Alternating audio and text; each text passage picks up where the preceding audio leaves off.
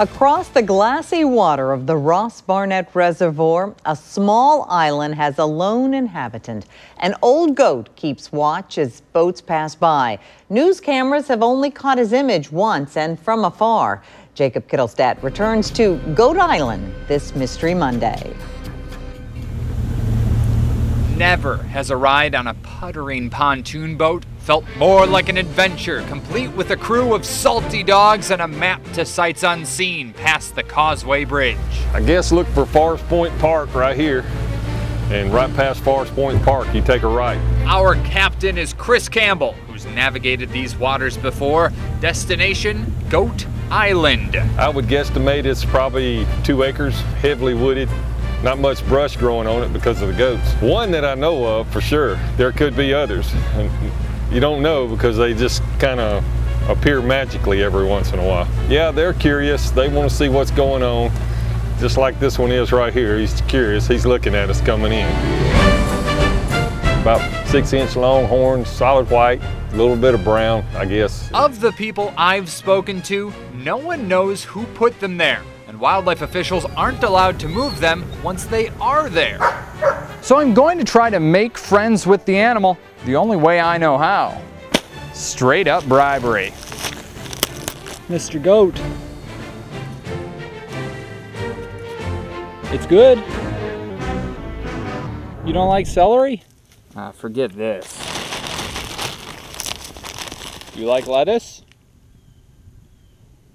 What? He's not eating what I'm giving him. How does he even survive out here? The answer, coming courtesy Pickett Farms and Terry, is foraging. Uh, we've been farming this farm three generations, but we've been goat farming about three years.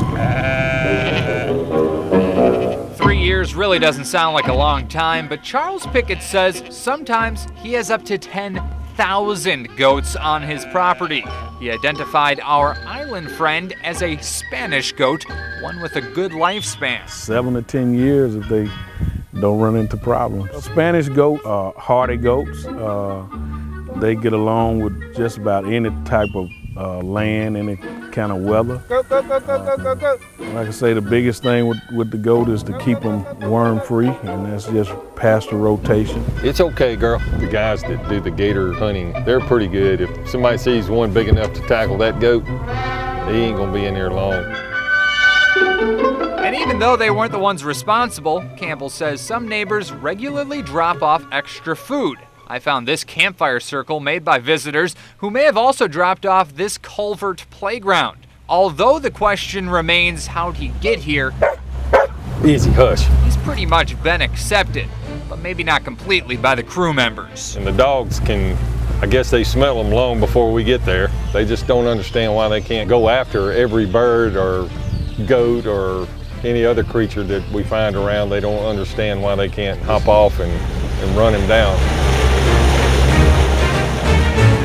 Exploring the unexplained this Mystery Monday, Jacob Kittilstad, WJTV News Channel 12. Cute dogs. I tell you, that was a cute story. A few months ago, a minor was arrested for the killing of a goat on Goat Island. Neighbors say although the goat's now alone, he appears to be doing fine.